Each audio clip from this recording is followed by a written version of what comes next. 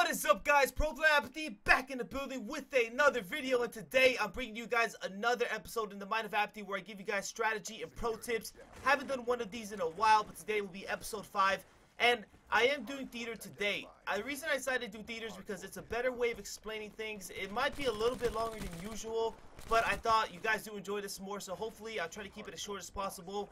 And right now what you guys are going to be watching is some gameplay. Uh, it's pretty much Money 8, so it was me, Scump, Nameless, and Slacked versus Classic, Accuracy, John, and Slasher. So pretty good teams. So let's get right into the video. So right here, Spawn Palace, see some shots on the right. Gonna go ahead and try to get some kills here. Teammates do a good job cleaning up the kills. Slasher with the Struggle-matic, which if you guys don't know what the Struggle-matic is, it's the Man-O-War. It takes me out. So right here, 25 seconds left. I'm gonna start rotating all the way around. Now, I could possibly gone straight to the hill. 25 seconds, you think? Eh, pretty good time. But spawns are so important to this hill. My teammates already have control, so there's no point in me hitting it. Right here, you guys saw me kill Slasher. I turn around. As soon as my teammates have that right control, what I want to do is I want to hold the back. So, if my teammates have right, if there's no one pushing right, if I see no action in the right, means someone could be pushing the left already. So as I turn around, get Slasher off rotation a second time. He's trying to rotate the back. Unfortunately, I get taken out by John. But I did my job. I tried to hold the I tried to hold it back as well as possible. So right here, gonna rotate straight into the hill. I have teammates following me up. I want them to hold my front while I help Scump in the hills. Because if Scump dies, then we're fucked. Right here, we get two dead. Uh, Nameless gets one with a dart. I believe he gets a second one here. No, he doesn't. Okay, he does. He crashes right into him. So I help him a little bit that kill. Turn around, kill the guy's side door. Now right here, my job is to help my teammates. Side door and back door. Unfortunately, I get taken out, but we have pretty much controlled the hill. Boom. 25 seconds again. I have three teammates on that hill. I should not really I shouldn't really push it, be pushing that hill. By the time, just think of it mathematically. By the time I get there, it'll be like 16, 17 seconds. By the time I get in the hill and fight the hill, it'll be like 15, 14 seconds. I should not be hitting time like that. So right here, I'm going to rotate to Gen side. Usually, guys, Gen side is a favorable side. But I did spawn green, so I'm just going to rotate rotate there either way. My teammates do a pretty good job and rotate early as well. I get my shit joked by John, but it's all good. I spawned out here. Now, here, there's two routes you can take. You go all the way back to green, but since my teammates have control of the hill and have sort of green control of, or gens, I call it, we call it gens, which is the right side right here. I'm going to go straight to middle and help my teammates right away because they pretty much have control of the hill. Going all the way around will take too long. So right here, I do go through middle, get killed by Struggle-matic again. It's all good. So right here, I spawn out uh, lab side. Now I am going to go couches. I could go mid, but my teammates need help couches. We have no couch pressure at all, so I'm going to go ahead here, help them. Pre-fire classic, get that kill. My teammates are pitching from the middle or right side. Not sure what they're doing my mini-map, so I'm just here trying to stay alive for my teammates do a good job of staying alive, get a kill, come from the back, shoot him up a little bit. He waves his he waves, and uh, my pinch worked so well. If you realize that, like I I got a kill, backed up, stayed alive for my teammates because I saw they're pinching middle, and then I killed the guy who was trying to kill me from the pinch, and I pushed in and then pinched them. If I would have died there, like if I if Slasher would have killed me early on when I was couches, this whole thing probably wouldn't have worked, and they would have won the hill. But that's how important it is staying alive sometimes, guys, and valuing your life in hardpoint. So right here, we're going to rotate to the next hill. You want these back spawns. Usually, back spawns are the best. Right here, I like to do this low wall run, but I see slashers running, so I'm just, I pick up slasher, uh, go back to broken, gonna try to wall run to top green again. And there's two people bought bottom broken, but I just hope my teammates kill those guys while I go for the hill. I do have Heat Wave. Heat Wave 1. I know the guys will be behind me somewhere. Scump does a good job, cleans up that kill for me. So right here, we're just both corner to corner. You know, I'm in the hill with another guy. Two of my teammates, Nameless and Slacked, are just pushing out the hill, applying pressure. Right here, they could be in the front or in the back because they can spawn out. But since Scump or whoever spawns out in the back, we all know they're going to be in the front here. As you guys start looking, I'm starting to pre in the front. Putting some shots. I believe I get both assists. But hey, I mean, as long as we get the W, I don't care about kills. Teammate spawns behind me. Usually, usually what you want to do, guys, and this is pretty common sense, but for the people who don't know, is if someone spawns behind you, you want him to get the junk time, and then you go. That that way, the rotation is faster, and you're constantly like it, the timing could be better for you guys. If if I would have stayed in the hill and let him go, let's say right here, I, am in a better position to trade the skill because I got here faster. You see, now you get the kill. Now, if I would have let him go, Slasher probably would have been in a better position and killed whoever was behind me. So right here, a important thing when pushing the lab hill, you want to push the left. This way, you can. It's easier to fight side door and back door because you have a better positioning. If you fight from the right, it's a little bit harder, and even it takes a while. So, and plus, the old hill was the the hill behind the screen.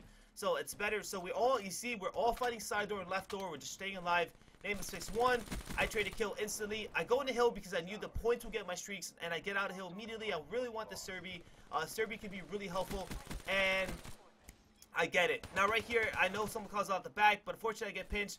The bad thing is, we didn't really secure the back spawns, and we all died. The good thing is, I did get my streaks. So, I mean, it's it's not too bad of a situation. Right here, side hit side door. I side, you know what? I'm going to follow him up. I get one, get immediately traded out by John. We spawn Palace. 20 seconds left now.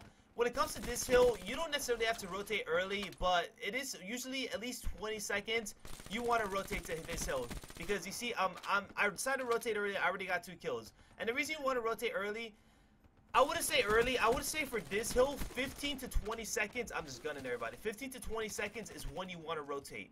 But you don't necessarily have to rotate to the mid hill early, early, like 25, 30 seconds. No, no, don't ever do that. So right here, Alright, so right here I'm in a good position. When you spawn Palace and your teammates have mid control, you want to flank the AC, especially if they had that last time. Because they're going to be lab. So there's 90% of the time going to be a guy top AC and he's hard to kill from middle, broken, wherever the case is. And there might be one or two more you can see my screen. So what you always want to do is you want to flank it. It's the best thing to do. I don't know what's going to go down here, but I believe I get the kill. And I get the two-piece. Almost get the three-piece, I believe. I think I pre-fired this. But you see how how well it worked? I believe I get all three here. I got all three. I fell off the map. But you see how well that, that pinch worked? So always remember that, especially if they get the last time.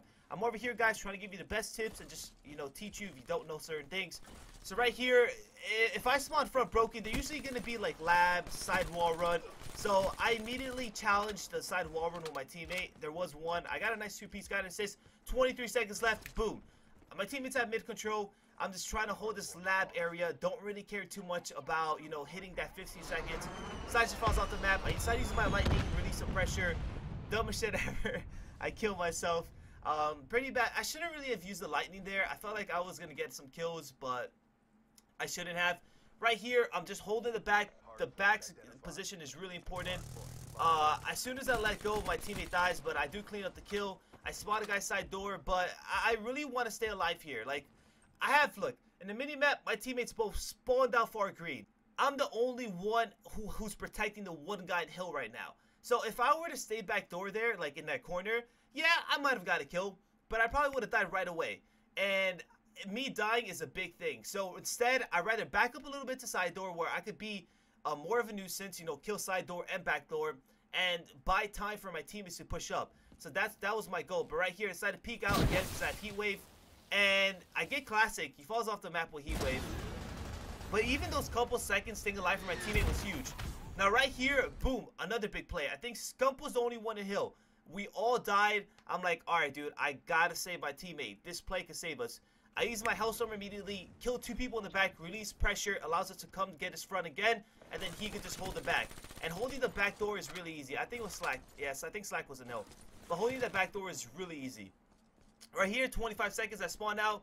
But, you know, my teammates are all here. Uh, they're still getting shot at, so I'm just making sure we get this time. 17 seconds. Now everyone wants to rotate. I'm over here trying to trying to kill Slash. I did pick up an AR, so I was like, why not check in the spawn because they can actually spawn there sometimes. It says Slack spawns there. So just getting the jug time, having a pretty good game, 30 and 15, dominant game so far. A lot of you guys saw me get like some good kills due to my position. I think positioning this game is such a huge factor, such a huge thing. You know, getting to certain choke points or flanking at the right time and stuff like that. So right here, I have three left side. So I'm going to hit middle. There's no point in me hitting the left. We don't want to three stack it. We want to pinch a show. I get one, almost kill classic. Kind of missed my shots in the end. But, you know, I try my best to pinch it. Uh, right here, I think my teammates are fighting middle. So we decide to do a 2-2 split. Now, breaking from middle sometimes is easier. Just because when you're when you come from couches, there's always one or two guys preeming that, right? They just preeming that. You know, it's hard. You got to wall run something, do like wall run like uh, I think Slack tried to do, but he died. But that's like the way you want to break it. But come from mid, you know, only one guy usually preempts that, and you can just slide in and hope for the bets. Right here, 15 seconds left. I spawn uh, bottom broken. Me and my teammate, we just want to hold, right? Road, staying alive in rotation is such a huge thing. You do not want to die here. Slack gets a kill. I'm like, all right, Slack, I'm trying to stay alive for you, but I figured like he's about to die. I should have played this a little bit smarter. You know, my whole plan was as soon as the scythe shot, I should have been like, all right, I'm gonna let Slack die, and I'm gonna catch the scythe off guard, kill him, and sell hold spawns. Instead, I felt like genuinely bad that he died right away, so I tried to go for the trade, and then I just died too. So it was dumb of me. I should have played a little bit more selfish. Like sometimes playing selfish is better, even if it if it costs your teammates dying. Like I've learned that, especially playing with Envy. You know, there's times where JKap, I'm like, JKap goes like, dude, I like uh, my intentions are to help my teammate, but sometimes I gotta realize like certain plays are better for the team rather than my one teammate at the time. But either way, I spawn on green. I'm gonna pinch the back. I want to rotate around here. I do EMP the Serbi. I don't think I killed it, but there's two there's two routes I could have taken. I could have gone through Palace to middle, maybe a little faster, maybe I get a kill, but it's a little bit more. It's a dumber play because it's a dumb play because you don't get spawns and me spawning Palace, now if I rotate to gens, I block the gen spawn so they can't get the spawn, and it allows my teammates to get the spawn if they die, rather than hitting the front and then getting and getting them good spawns, you know what I'm saying? So, even though this is a slightly longer route, it's the better play. Unfortunately, though, that Serbi is doing a good job of holding their spawns, so I spawn out. And I'm just going to hit the front here, 25 seconds. Going to do one more push, trying to get some shots up top. I missed a, I missed a couple bullets, which kind of fucked me. I could have got that kill. C2 on top, try to push some shots, just get some assists. Three dead. Gonna go ahead and put some shots again. How much assists I get? I, you can't tell, but I got a lot of assists this game. Nine seconds remaining. Right here, usually what teams like to do, if you guys saw the first rotation, what I did was push the left side. So right here, we're thinking, all right, they're going to push the left side. I must, but I EMP something middle, so I decided to peek middle. Don't see anything in the middle. Figured, you know, they're going to apply a lot of pressure to the right. I come to help them. But a Hellstorm is coming in hot, and I try to run away, run away just in time. So I come back right out. My teammate has a hill. Right here, I, I try to run away, get into hill. Good play by me. There's no point in me dying on that side door and slasher, which a kill is not not necessarily pointless, but I could do so much more in my life. So right here, instead of like trying to challenge him again, I instantly run away and go into hill and get a kill, release pressure. It, you know, I think we still lose the, hill right now, but it was the better play, and that's all that matters. You know, you guys always gotta think what's the better play for you and your team. You always gotta do stuff for the win. So right here, they use the lightning, so I instantly go in hill. I try to slide a heat wave, die. Game starts to seem close. You know, I'm 13-24. We're doing pretty well, but it, they're only 15, like about to be 15 points away. So I go straight to the front. John kills me immediately. He's spraying the front. Right here, we do not know what to do. So we're gonna we gotta flood hill. We know that we have to break the hill. Classics front of the hill. I'm just staying alive. I know he's gonna re-challenge me. Two dead. I'm like, alright, I gotta hit the hill. I had heat wave. I heat wave the guy. I heat wave him behind me. Heat wave is so OP sometimes. Side Doric pick up the two piece. Boop boop. Now I believe we're only gonna need five points, but they need a little bit points too. So it's a close game. I'm gonna slide out. Alright, we need nine points. Go into hill right away. They're EMP, they're weak. We're like, holy shit, they need 15 points. Uh, we need nine, but they have control.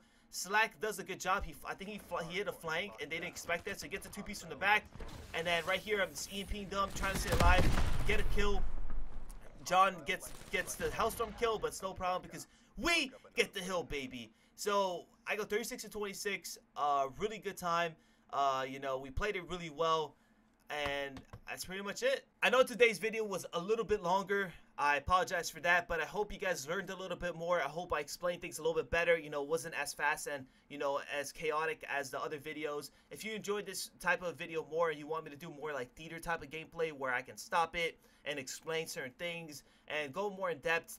This hardpoint game was a little bit long, so I try not to stop for too long and, you know, talk a little bit fast about it. But you know, games that let's say like CTF or Uplink, where it's for sure a 10 minute game, I could do a little bit more, you know, in depth. But either way, guys, it's been your boy Apathy. Make sure to like, comment, subscribe. It helps the channel out a lot. Support means everything to me, and I'm out. Peace.